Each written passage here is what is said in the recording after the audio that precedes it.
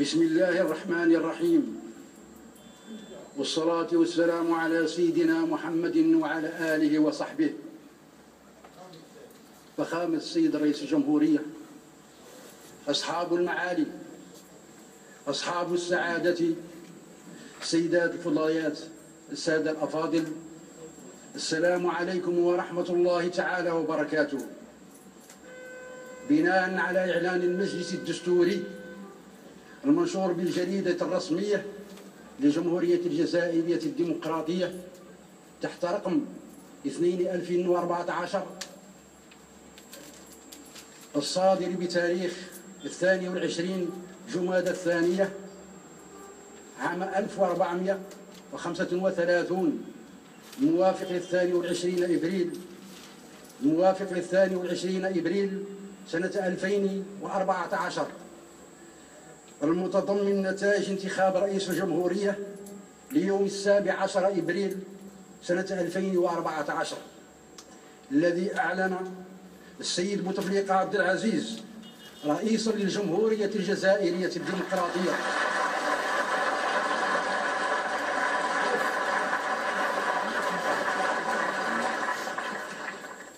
وعملا بأحكام المادة الخامسة والسبعين من الدستور التي تنص يؤدي السيد رئيس الجمهورية اليمين أمام الشعب بحضور جميع الهيئات العليا بحضور جميع الهيئات العليا في الأمة خلال الأسبوع الموالي لانتخابه ويباشر مهمته فور أدائه اليمين.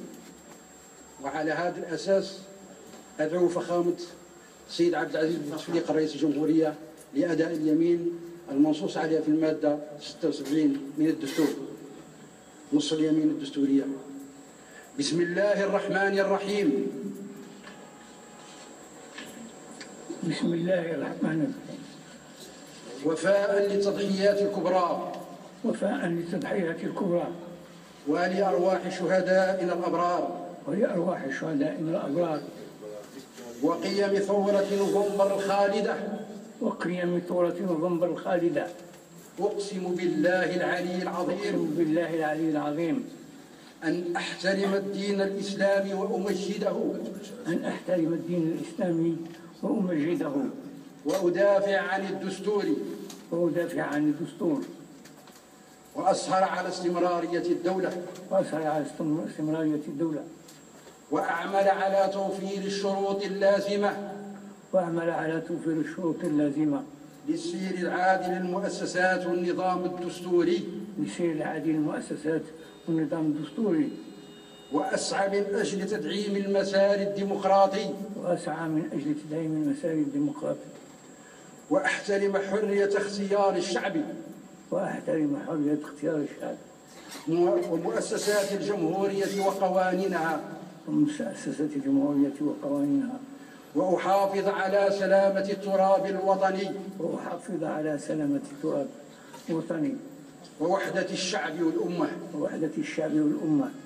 وأحمي الحريات والحقوق الأساسية. وأحمي الحريات والحقوق الأساس- الأساسية. للإنسان والمواطن. الإنسان والمواطن.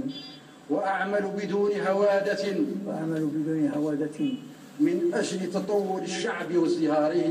من أجل تطور الشعب. وازدهاره وأسعى بكل قواي وأسعى بكل قوايا. في سبيل تحقيق المثل العليا. سبيل تحقيق الأمة العليا. للعدالة والحرية والسلم في العالم. للعدالة والحرية والسلم في العالم. والله على ما أقول شهيد. والله على ما أقول شهيد. وعليه واعتمادا على بيان المجلس الدستوري المذكور.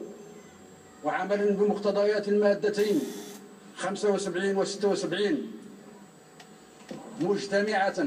أعطي إشهادا لفخامة رئيس الجمهورية السيد السيد بوتفليقة عبد العزيز لأدائه على أدائه لليمين الدستورية. والله ولي التوفيق. والسلام عليكم ورحمة الله تعالى وبركاته.